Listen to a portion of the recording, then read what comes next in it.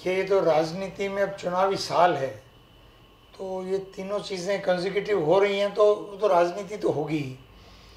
अब कौन किस प्रकार से किस चीज़ को देख रहा है परसेप्शन क्या बन रहा है? जी। निश्चित रूप से आप जो कह रहे हैं ये परसेप्शन दिखाई देता है जैसे क्योंकि इंडियन नेशनल कांग्रेस के हैंडल पे वो था। जी। अब एक तरफ़ जब भारत जोड़ो यात्रा में राहुल गांधी जी ने कहा यहाँ आकर के वेणुगोपाल जी ने कहा जब राजस्थान यात्रा शुरू हो रही थी और भारत जोड़ो यात्रा के मध्य में राहुल जी ने कहा कि भाई सचिन पायलट भी एसेट हैं और अशोक गहलोत भी एसेट हैं।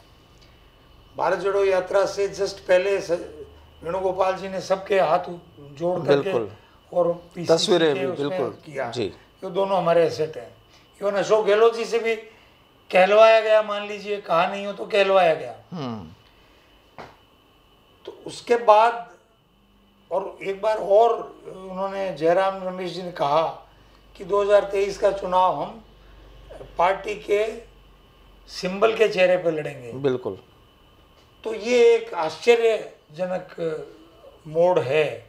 इसका संज्ञान अगर भूलवश आईटी सेल ने उसको अपलोड कर दिया है या जयराम रमेश और सुप्रिया सिनेट की जानकारी में है और उनकी जानकारी में है तो क्या उनको उन्होंने खड़गे साहब से परमिशन ली है और खड़गे साहब से परमिशन लिए तो फिर खड़गे साहब का फिर सार्वजनिक बयान ही आ जाए तो बेहतर है कि भाई हम्म। यही बिल्कुल राजस्थान में यही होना यही है। होना है हम्म। तो फिर राजस्थान की जनता भी क्लियर हो जी अब इसके बाद अगर वो क्लियर नहीं भी करते हैं हम्म।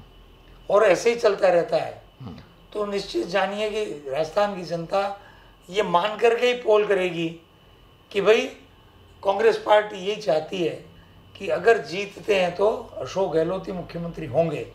तो फिर उसके अनुसार जो जनता की इच्छा होगी, अपना मत देगी और वो परिणाम अगर विपरीत आएगा तो कांग्रेस को वो बर्दाश्त करना पड़ेगा और वो परिणाम अगर कांग्रेस के पक्ष में आएगा तब तो फिर जश्न मनाना कोई दिक्कत ही नहीं है। लेकिन क्या आपको लगता है कि भूलवश तो ऐसा शायद संभव नहीं होगा? क्योंकि किसी न किसी प्लानिंग के तहत ये तमाम चीज़ें जब उसको तैयार भी किया गया है उस पर पूरे एनिमेशन में मेहनत भी की गई है तो केवल एक टेक्स्ट होता है तो टेक्स्ट तो हो सकता है चलिए भूलवश भी कोई चीज़ आप लिख दें। लेकिन जो तमाम पूरी चीज़ें जो तैयार हुआ एक वीडियो तैयार हुआ एनिमेशन तैयार हुआ एनिमेशन तो जयपुर में तैयार हुआ।